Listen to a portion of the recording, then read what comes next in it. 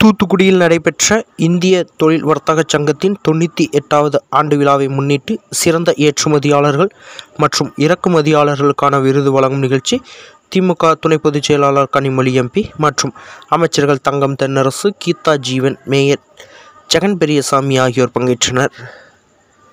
தூத்துக்குடியில் உள்ள இந்திய தொழில் வர்த்தக சங்கத்தின் தொண்ணூற்றி எட்டாவது ஆண்டு விழாவை முன்னிட்டு சிறந்த ஏற்றுமதி மற்றும் இறக்குமதியாளர்களுக்கான விருது வழங்கும் நிகழ்ச்சி தூத்துக்குடியில் உள்ள தனியார் ஹோட்டலில் நடைபெற்றது. இந்த நிகழ்ச்சியில் திமுக துணை பொதுச் செயலாளரும் தூத்துக்குடி நாடாளுமன்ற உறுப்பினருமான கனிமொழி தமிழக தொழில்துறை அமைச்சர் தங்கம் தென்னரசு சமூக நலன் மற்றும் மகளிர் உரிமைத்துறை அமைச்சர் கீதா ஜீவன் மேயர் ஜெகன் பெரியசாமி ஆகியோர் கலந்து கொண்டு சிறந்த ஏற்றுமதி மற்றும் இறக்குமதியாளர்களுக்கான விருதுகளை வழங்கி பாராட்டினார்கள். இதில் Thoothukudi city lorry booking association தலைவர் சுப்ராஜ் இந்திய தொழில் வர்த்தக சங்க தலைவர் ஜான்சன் செயலாளர் கோடீஸ்வரன் சுகாதார குழு தலைவர் சுரேஷ்குமார் துணை மேயர் ஜெனிட்டா மண்டல தலைவர்கள் பாலகுருசாமி கலைச்செல்வி திலகராஜ் அன்னலட்சுமி நிர்மல் மாவட்ட பிரதிநிதி திருமல் சக்திவேல் திமுக பகுதிச் செயலாளர் ரவீந்திரன் ஜெயக்குமார் திமுக மருத்துவ அமைப்பாளர் அருண்குமார் முன்னாள் மாமன்ற உறுப்பினர்கள் செந்தில்குமார் வட்டச் செயலாளர் வழக்கறிஞர் சதீஷ்குமார் தூத்துக்குடி மாவட்டத்தில் உள்ள பல்வேறு முக்கிய நிறுவன உரிமையாளர்கள் மற்றும் பிரதிநிதிகள் கலந்து கொண்டனர். இதனைத் தொடர்ந்து கனிமொழி எம்பி பேசுகையில் தற்பொழுது இளைய தொழில் முனைவோர் தனியாக தொழில் தொடங்குவதற்காக ஆர்வமாக வருகிறார்கள். அவர்களுக்கான வாய்ப்பு என்பது தமிழகத்தில் அதிகமாக உள்ளது. அந்த வகையில்தான் தமிழக முதல்வர் மு. ஸ்டாலின் தூத்துக்குடி ஃபர்னிச்சர் பார்க் அடிக்கல் நாட்டப்பட்டு அந்த பகுதியில் தொழில் நிறுவனங்கள் தொடங்குவதற்கு ஒப்பந்தங்களும் கையெழுத்திடப்பட்டுள்ளது. விரைவில் ஃபர்னிச்சர் சம்பந்தப்பட்ட தொழில் நிறுவனங்கள் இங்கு துவங்கப்பட உள்ளது. இது மட்டுமின்றி டைட்டில் பார்க் விரைவில் வர உள்ளது. பிளாஸ்டிக் பொருட்கள் தயாரிக்கும் சிட்பேட் நிறுவனம் தூத்துக்குடியில் தொடங்குவதற்கு உரிய நடவடிக்கைகள் எடுக்கப்பட்டு வருகிறது. ஒன்றிய அரசு இதற்கான அனுமதியை அளித்தவுடன் தூத்துக்குடியில் சிட்பெட் துவங்கப்படும் என தெரிவித்தார். மேலும் பல்வேறு முதலீடுகள் தூத்துக்குடியை நோக்கி வருகிறது.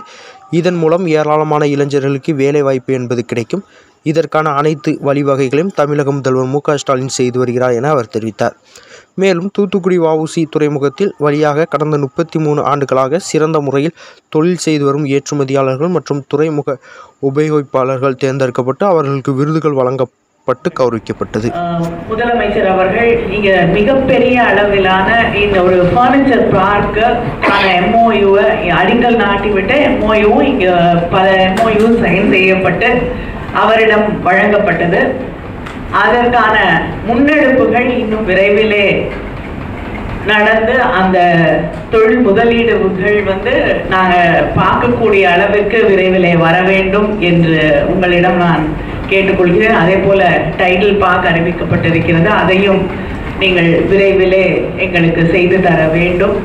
இங்கே வைக்கப்பட்ட கோரிக்கை சிப்பெட் பற்றி ஒரு கோரிக்கை வைத்திருக்கிறார்கள். அதை வந்து நான் முன்னெடுத்து அங்கே இருக்கக்கூடிய ஒன்றிய அரசாங்கத்திடம் பேசி சிப்பெட்கான ஒரு பெர்மிஷனை வாங்கினோம். அதே போல் நம்முடைய முதலமைச்சர் அவர்களிடம் பேசி நம்ம இண்டஸ்ட்ரீஸ் மினிஸ்டரும் அதற்காக உதவி செய்தார்கள். அந்த- சிப்பெட்கான பெர்மிஷன் இங்க. நம்முடைய தமிழ்நாடு அரசாங்கம் அதற்கு அதை செய்கிறேன் என்று.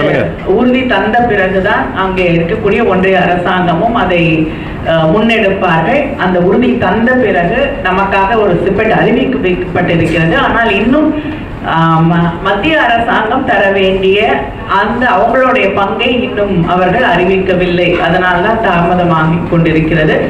அந்த ஃபினான்ஸ் கம்பெனி கமிட்டியோடைய மீட்டிங் இன்னும் நடக்கலை. அதுவும் விரைவிலே நடக்கும். நமக்கு வந்து சிப்பெட் பணிகளுக்கான வேலைகள் இந்த விரைவிலே தொடங்கும் என்று நிச்சயமாக நம்புகிறேன். அமைச்சர் பேசும் பொழுது குறிப்பிட்டு சொன்னார்கள். இன்னும் பல்வேறு முதலீடுகள் கிரீன் ஹைட்ரஜன்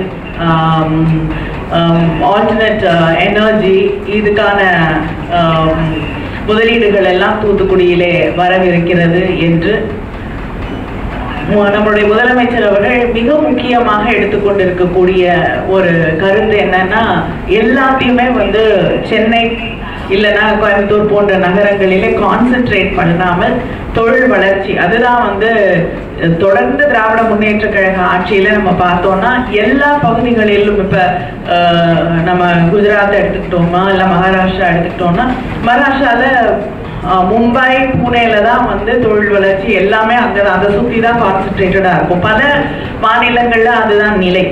ஒரு ஊர்ல தான் எல்லா தொழில் வளர்ச்சியும் தொழிற்சாலைகளும் இருக்கும். அதை சுற்றித்தான் வந்து அவங்களோட பொருளாதாரமே இருக்கும். ஆனால் தமிழகத்தை எடுத்துக்கொண்டோம் என்றால் மிகப்பெரிய அளவில் வந்து எல்லா பகுதிகளிலுமே தொழில் வளர்ச்சி இருக்கக்கூடிய வாய்ப்புகள் இருக்கிறது. தொழில் வளர்ச்சி இருந்து கொண்டிருக்கிறது. ஆனால் நம்முடைய முதலமைச்சர் அவர்கள் இன்னும் அதை விரிவாக்கி ஒவ்வொரு பகுதியிலும் தொழில் வளர்ச்சி இருக்க வேண்டும் அப்படிங்கிறதுல வந்து மிக முனைப்பாக இருக்கிறார்கள். அதனால்தான் எல்லா பகுதிகளுக்குமே வந்து இண்டஸ்ட்ரீஸ் இன்னைக்கு கொண்டு போக வேண்டும் என்று முயற்சிகள் நடந்து கொண்டிருக்கிறது.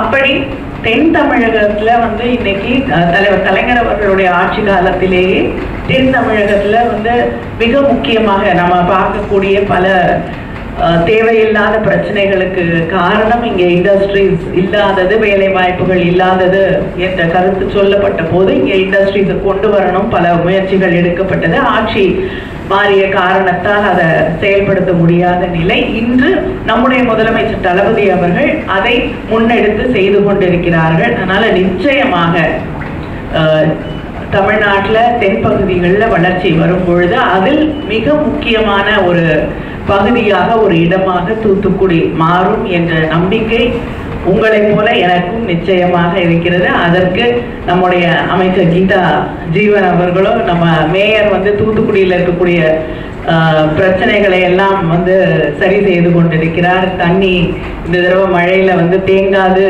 என்று உறுதியளித்திருக்கிறார். இதெல்லாம் வந்து ஒரு சிட்டிக்கு மிக முக்கியமான விஷயங்கள். அதே போல எந்த தெருவுல என் யார் வீடு எங்கே இருக்கு? யார் வீட்டில் யார் யார் இருக்காங்க? அப்படின்னு சொல்லக்கூடிய அளவுக்கு இந்த பகுதியில் இருக்கக்கூடிய மக்களை தெரிந்து வைத்திருக்கக்கூடிய ஒரு அமைச்சர் இருக்கிறார் என்றால் அது நம்மளுடைய அமைச்சர் கீதா ஜீவன் அவர்கள். இந்த அளவிற்கு இந்த மக்களோடு ஒன்றிணைந்து பாடுபடக்கூடிய அஹ், இங்க இருக்கக்கூடிய இந்த ரெப்ரசன்டேட்டிவ்ஸோடு நிச்சயமாக உங்களுக்கான கோரிக்கைகளை எல்லாம் நிறைவேற்றுவதற்கு நான் பாடுபடுவேன். நான் கோரிக்கைகளை உங்கள் சார்பிலே அமைச்சரிடமும் முதலமைச்சர் அவர்களிடமும் வைப்பேன். அதெல்லாம் செய்து தர வேண்டியது அவருடைய கடமை. செய்திகளை உடனுக்குடன் தெரிந்து கொள்ள உங்கள் கரம் டிவியை சப்ஸ்கிரைப் செய்யுங்கள். அதோடு பெல் பட்டனையும் கிளிக் செய்யுங்கள்.